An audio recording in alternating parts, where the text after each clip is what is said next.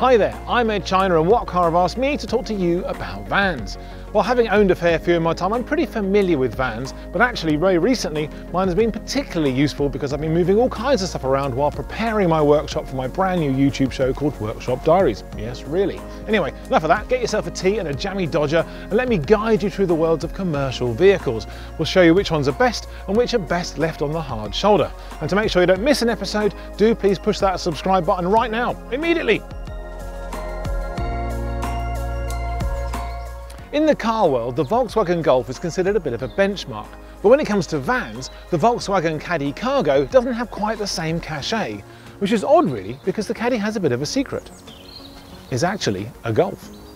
The Volkswagen Caddy has always had a loose connection with the Volkswagen Golf since it first went on sale in 1980, which makes a lot of sense as they're about the same size and have been known to share the same engines. So while the larger Transporter remains the brand's commercial icon, the Caddy has actually developed something of a cult following over the years, thanks to its car-like handling, impressive build quality and solid residuals. Which brings us to this all-new fifth generation Caddy Cargo, or the Caddy 5. Now it's underpinned by a brand new chassis which is based on Volkswagen Group's MQB platform, a modular design platform which has been used for all kinds of small to mid-sized cars, including the Audi A3, the Skoda Octavia, and yes, of course, even the Golf.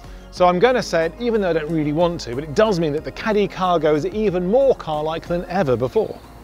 But why is that? Well, MQB platform aside, there's an all-new 2-litre diesel engine under the bonnet, which is both quieter and cleaner than the unit it replaces, while the interior is smarter, more modern and generally a lot less van-like than you'd expect.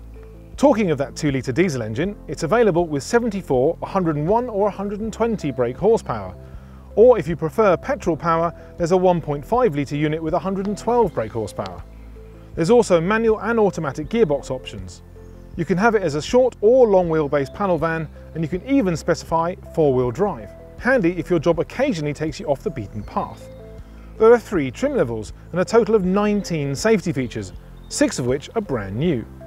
Then there's the all-important load space. Now manufacturers generally try and keep this bit exactly the same when they upgrade a model because obviously changing it can be very annoying and very expensive. Think of it like this. Now when a manufacturer brings out a new phone with a slightly smaller charging port, you don't really care, you buy it anyway, but of course then you get it home, you suddenly realise that all of your accessories now need to be replaced. The headphones, the speakers, the car accessories, it can get quite expensive. But imagine if that was the inside of your van, if all your workbenches, your racking, all of that had to be replaced, it'd be very, very expensive. But there's good news for new Caddy owners because unlike a new charging port that generally gets smaller when it's updated, the inside or the back of our Caddy has just got a little bit bigger. Yeah. So now there is 60 millimeters more width between the wheel arches, 28 millimeters more height, and 20 millimeters more length.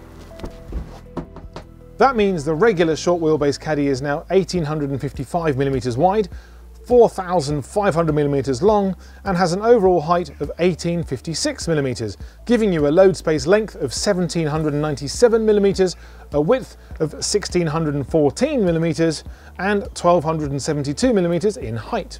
Meanwhile, the long wheelbase Caddy Cargo Maxi adds 353 millimeters to the length of the van, making it 4,853 millimeters long and increasing its load length to 2,150 millimeters. All of those changes to the dimensions means that the Caddy now has an internal load space of 3.1 meters cubed, whereas the Caddy Cargo Maxi has a load space of 3.7 cubic meters. And that's great news for volume hungry van drivers, but unfortunately slightly less promising news when it comes to payload, because the maximum weight that a standard Caddy can manage is 687 kilograms, and the Maxi is restricted to 700 kilograms. Now to put that into some kind of perspective, the Ford Transit Connect, the Caddy's most obvious rival, can manage 967 kilograms and the Vauxhall Combo can manage over a ton. Just think of it sounds like a Golf. Now might be a good time to discuss the Caddy's rivals in a little more detail, because since last time VW launched a Caddy, there have been some pretty big changes in the small van segment. The Ford Transit Connect that we mentioned earlier is actually no longer the de facto bestseller in the segment and is instead constantly battling against the Citroën Berlingo, Peugeot Partner and Vauxhall Combo. As a result, the Caddy has slipped a long way down the pecking order, which means this fifth generation model has a lot of ground to make up.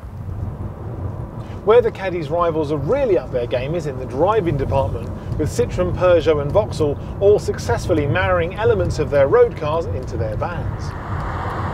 VW's engineers have done the same thing with the new Caddy, but arguably their starting point is even better, because as we now know, this is basically a Mark 8 Golf in disguise. And the MQB underpinnings that I mentioned earlier are a massive improvement on the previous Caddy chassis. Not that, that should come as any surprise. The previous Caddy might have had a range of punchy engines, but they were all rather noisy, and also the ride was a little on the firm side.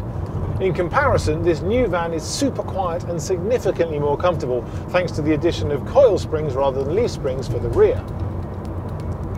The steering in the old van was also a little too light and sensitive, but now it feels much more purposeful and connected to the road and that's largely due to VW having replaced the old hydraulic steering system with a new electric power steering setup. VW did something similar in the Crafter and the Transporter and both really benefited from it, and the Caddy has too. Now this is the 120 brake horsepower model, which uses the new 2 litre TDI engine, which is far more refined than the old version. Now yes, I can still hear it whirring away in the background, but it's significantly quieter, so much so I can actually hear way more road noise than I was expecting, but it's far from intrusive. Now as I mentioned earlier, this 2 litre diesel engine is also available with two other power outputs, 74 brake horsepower and 101 brake horsepower. And because all of them are turbocharged, they offer plenty of torque across a wide rev range. None of them feel underpowered. Now the 101 brake horsepower engine would be the most pragmatic choice because it's the best compromise between performance and economy. These new engines also have something called twin dosing, which is VW's nifty way of improving those pesky emissions by injecting AdBlue into the SCR catalytic converter at two different locations. This means it can inject just the right amount of AdBlue for when the engine is idling or under low strain, while also catering for higher loads such as motorway driving. It's clever stuff and is said to reduce emissions by 80% compared to the previous generation of engines. A six-speed box comes as standard on a Caddy, which is actually unusual because most vans of this size would come with a five-speed box. The gearbox itself seems well suited to the engine and the shifting action is slick and purposeful. I'd go as far as to say it has an air of golf about it. Then there's the 7-speed DSG automatic gearbox with paddles on the steering wheel. Now this is only available on the highest power diesel and the petrol option. Now it's a great choice for city drivers but also lazy ones like myself who are happy to do away with using their left foot. Now it's got super smooth changes but they're also lightning quick. It's just a shame that it's only available on two engine options. Now on the plus side, there's a whole range of new features that all caddies get thanks to that new electric power steering system. Does that sound like a Golf? Moving from a hydraulic to an electric setup has allowed VW to integrate many of the safety systems from the Golf 8 into the Caddy, bringing it bang up to date with all the latest technology. There are now 19 safety systems in the Caddy, and six of them are completely new, like the optional Intelligent Adaptive Cruise Control system. Once this is set, it can close the gap between you and the car in front when travelling at speed to stop other drivers from cutting in, while also providing just enough space to allow for other safety systems like brake assist to slow you down should you need it. There's also road sign detection, which automatically adjusts the cruise control to the speed limit, lane keeping assist, and a self-parking system. Now, if you use all of the technology, it's probably the easiest van to drive on the market. You could even do it blindfolded. Ooh, that sounds like a Golf. The old Caddy interior was a little bit plain. Practical, yes, but pretty drab. That has now changed, and the interior is far more modern and packed full of technology. All models get some form of central screen as standard, either a 6.5 inch version or a full 10 inch touchscreen like we have here. The entry-level 6.5 inch screen is sufficient for your everyday needs of music or making calls, but the crystal clear 10 inch screen is the sexy carryover from the Golf. Now it's an impressive centerpiece to the van, but these touch sensitive controls can be a little bit fiddly, particularly when looking even for just the simpler stuff like volume control or heating. But also when you consider this is a working environment, the occupants may be required to be wearing gloves or of course have dirty fingers and may be muddying that lovely clean screen with its slide controls. That niggle aside, it's a really modern, smart interior, and you do get the sense that you're in a quality vehicle. It even has USB-C connectors there in the dashboard, and also the option of wireless phone charging, and also wireless connection to Apple CarPlay, a first for any van. Next is going to be asking me to do a TikTok or follow on Insta. How modern. There are three trim levels, but they're no longer called Start Line, Trend Line and High Line. Instead, you'll be looking at choosing between entry-level Commerce, mid-range Commerce Plus, or the top of the range Commerce Pro. Simple enough, right? Standard equipment includes electric door mirrors, an electronic handbrake with auto hold, and a multi-function steering wheel, which might not sound like much, but it's worth noting that the 6.5 inch infotainment screen with DAB radio and Bluetooth is standard on all models. There's also cruise control with a speed limiter function and a load of safety systems. Commerce Plus vans look a little more sophisticated with body colour bumpers, but they also get some genuinely useful features such as rear parking sensors, manual air conditioning, a leather trimmed steering wheel and useful underseat storage for both the driver and passenger.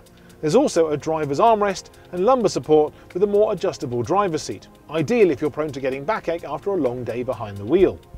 Meanwhile, Commerce Pro vans get alloy wheels, gloss black exterior mirror housings, front parking sensors, LED taillights, an alarm and inbuilt navigation with the 10-inch colour touchscreen we mentioned earlier. Although it's worth noting that the upgraded screen is also available as an option on lesser models. Still not quite the sound of a Golf. Now, when it comes to buying the Caddy Cargo, we'd actually go for the mid-range Commerce Plus trim, although there are a few other options that are worth noting. Certainly there's a very temptingly priced mid-size 8.3 inch infotainment touchscreen that we'd recommend. And also, if you happen to go for the standard Commerce version of the van, then definitely go for those storage bins under the front seat. And if you go for the leather steering wheel option, that also allows you to upgrade to the adaptive cruise control as well. Now on paper, the Caddy Cargo may well be the best small van on the market. Its new engines make it cleaner, the redesign makes it look better, and the new interior is definitely more modern. And it certainly drives as well as the best vans in the sector. In fact, it's even slightly more spacious than the van it replaces. There's just one thing I'm not quite sure about. It doesn't sound like a Golf. But then it's not a Golf, it's a Caddy. So it certainly gets the Ed Factor seal of approval, and What Car give it four stars. Want to see more van reviews from me? Then subscribe to the What Car channel. You'll see each of my new reviews as soon as they're released and in between you'll also get to watch other reviews by the lovely people at What Car.